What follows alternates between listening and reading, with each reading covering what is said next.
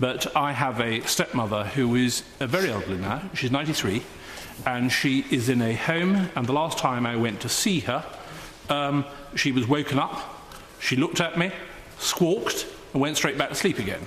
And that's very sad, and it's incredibly sad for one very simple reason that this was a woman who got a degree at Oxford in 1938 at a time when women didn't get degrees.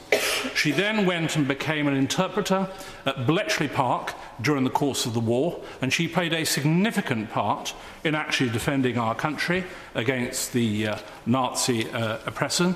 And unfortunately, to be society and universities like Plymouth uh, around the country. And as I said, Plymouth University itself conducts a great deal of research into dementia in this area of policy.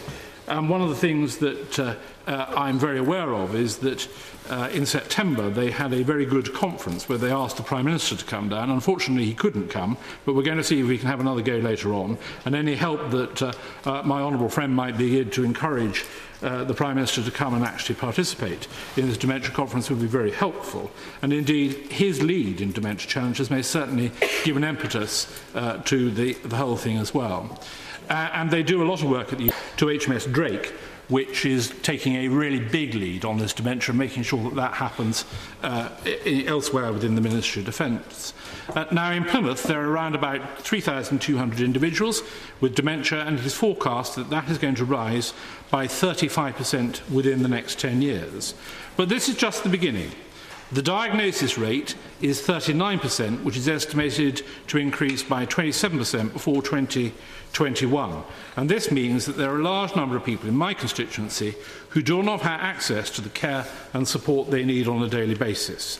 The new NHS uh, mandate commits to drive up diagnosis rates, which can only be a good thing for both sufferers and their families.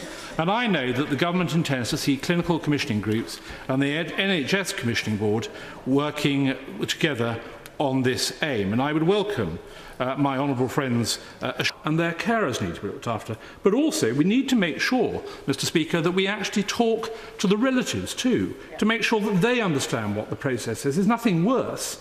None of us like being ambushed to do, whether we be politicians or individuals. And it's very, very important that we therefore make sure that we help those uh, family members to actually work their way through, those, uh, through that suffering as well.